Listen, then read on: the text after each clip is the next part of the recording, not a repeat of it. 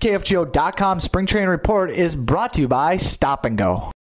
Mike McFeely in Fort Myers, Florida for KFGO covering Twin Spring Training 2014. Jason Bartlett hasn't played Major League Baseball since 2012. He sat out the whole 2013 season. I asked Jason, because of the knee injury he had, whether he thought his big league career was finished. No, I, I was done. Uh, you know, after the surgery, I was like, you know, I don't want to put my body through this anymore. You know, I wasn't able to play like I wanted to. And uh, you know, as I started working out after the surgery, I was like, man, my, my knee's great. you know, I started doing things I never I couldn't do for a long time, and so I told my agent, I was like, you know what, let's let's give it one more shot.